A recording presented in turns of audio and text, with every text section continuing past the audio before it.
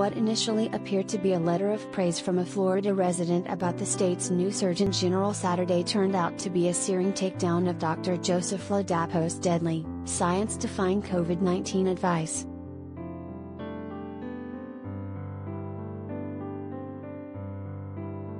Florida resident Charles Chamberlain, 81, wrote a letter to the editor of the Tampa Bay Times headline Dead Right.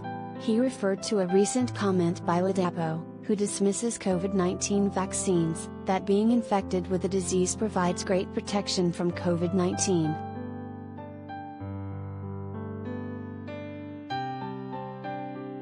He's spot on, wrote Chamberlain.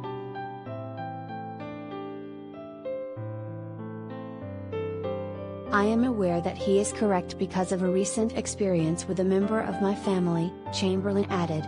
He had a severe infection from COVID 19. He is past that now, and is completely immune, not only from COVID 19, but flu and other respiratory infections as well.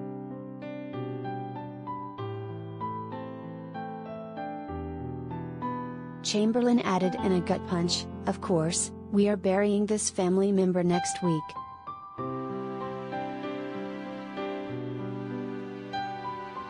Ladapo has been slammed for his anti-science messages critical of masks, lockdowns and vaccines to protect against COVID-19 as the state has continued to be a leader in the nation in COVID-19 cases and deaths. Some 54,000 Floridians have died of COVID-19.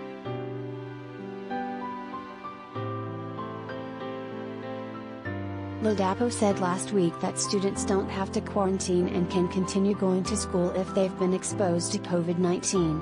He is also leaving it up to parents on whether or not their children wear masks at school.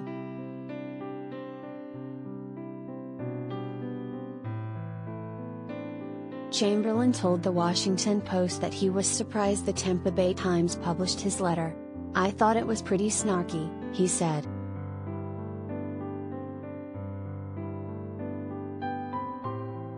The dead family member he referred to in his letter was his father-in-law.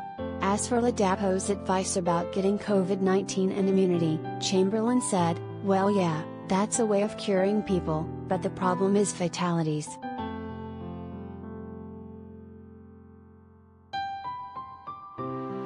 Twitter fans hailed Chamberlain's dark attack on Ladapo.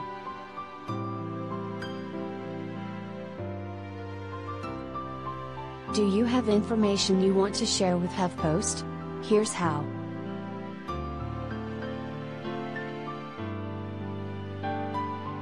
Before you go,